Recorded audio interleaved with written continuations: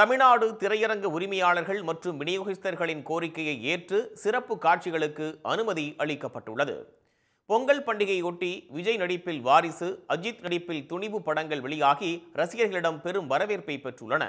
இந்த நிலையில் பொங்கல் பண்டிகையில் திரையரங்குகளில் கூடுதல் காட்சிகளுக்கு அனுமதி கிடையாது என தமிழ்நாடு அரசு நேற்று முன்தினம் அறிவித்திருந்தது.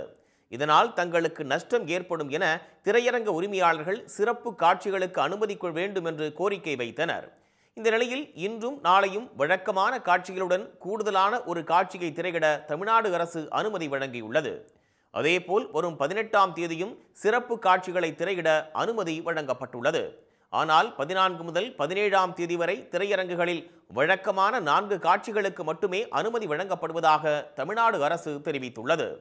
கூடுதல் காட்சிகளுக்கு அனுமதி கிடைத்ததால் திரையரங்க உரிமையாளர்கள் மற்றும் விநியோகஸ்தர்கள் மகிழ்ச்சி அடைந்துள்ளனர் உடனுக்குடன் செய்திகளை தெரிந்து கொள்ள Sun News bell icon click பண்ணுங்க.